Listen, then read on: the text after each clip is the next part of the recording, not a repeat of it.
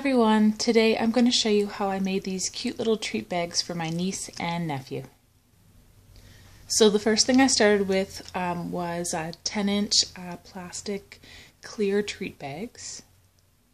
I had some that already had uh, stickers on them from our uh, wedding labels actually. We had a candy table so I decided to um, reuse a few of the already labeled ones. But as you can see on the stickers on these bags, there is no white on them. And how I got rid of the white is I used a black uh, paint pen. So this is just the Craftsmart uh, paint pen in black. And you just shake it up and uh, a really dark, thick black uh, paint comes out to get rid of the white. So next on the inside of the black, I have a little punched out shape and a little pumpkin sticker with googly eyes.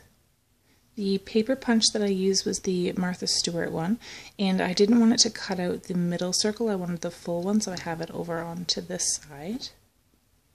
The orange polka dot paper came from uh, the Lawn Fawn set, and that is the um, 6x6 Let's Polka in the Dark. And the one that I used was the small orange polka dot. And here it is there with those two punches. And for the stickers, I used a set I got last year. And it is from this set here. You can see they're almost gone. Uh, there's one left, one little pumpkin in there with googly eyes. So these are the Sandylion stickers, and they are called uh, pumpkin faces. Now to go with the orange polka dot theme, I used some uh, ribbon that I picked up from Michael's a little while ago in a sale. Um, if you haven't seen that craft haul, I'll link it down below. Uh, so this is the yellow Celebrate It. And they don't have specific color names, there's just that color number on the back there.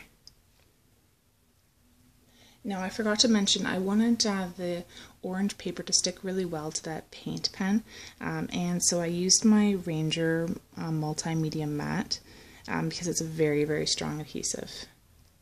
Now you also see some little um, cards there with uh, cats and pumpkins. Now these are um, repurposed cards, so when I receive cards, um, I don't throw them out after. I keep the fronts and um, I cut these ones down using my paper cutter to make little tags for these gift bags. So I went ahead and punched a hole in the sides. I'm going to thread it onto the ribbon and tie a bow. And there we have those cute little cat tags on the front. Uh, so when they take them off, they'll see the little pumpkin underneath. Now I am going to put little labels on them with their names. Um, I may use that paint pen to write on the front, uh, but likely I'll just write on the back there a little Halloween message. So in the pack I have jelly beans, there's some fuzzy peaches, and a little Wunderbar. So I kept everything in the Halloween colors. Oh, and then there's some sour pumpkins as well.